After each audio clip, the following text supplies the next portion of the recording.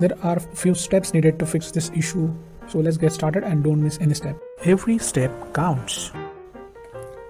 The first thing we need to do is to be on the home screen and on the top menu like locate this setting icon on the top click on user and accounts now here oh, oh, you need to um, locate this option restore licenses click on that restore it and it should be done in a few seconds the next step is check audio input settings.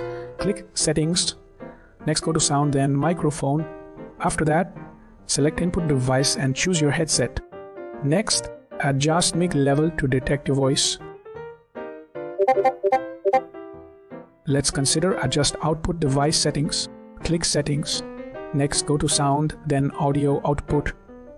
Later set output device to your headset so let's see check party chat settings. Click settings. After that go to sound then voice chat. After that turn off mute microphone for voice chat. Then set output to headphones to all audio. You are good to go. That's it